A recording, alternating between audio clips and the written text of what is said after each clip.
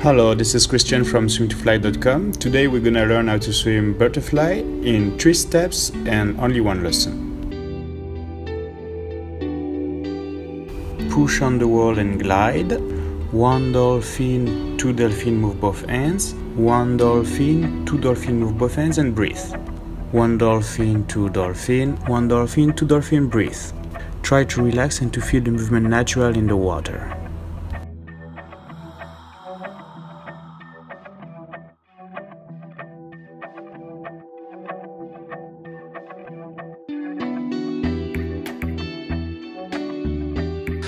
go. Right. And breathe. And, and breathe. And breathe.